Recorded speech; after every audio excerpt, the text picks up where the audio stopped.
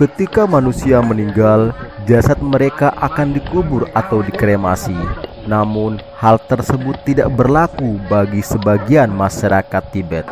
Sebuah tradisi Tibet membiarkan jasad orang yang telah meninggal di alam terbuka dan dimakan oleh burung nasar, burung pemakan bangkai. Ketika seorang telah meninggal, tubuh mereka akan dibungkus dengan kain putih dan diletakkan di sudut rumah untuk membawa jasad tersebut ke pemakaman langit.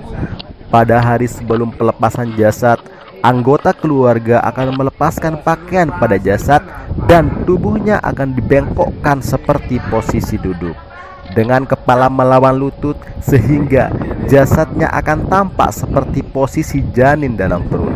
Ritual ini biasanya dimulai sebelum fajar. Jasad tersebut akan dikirim ke pemakaman di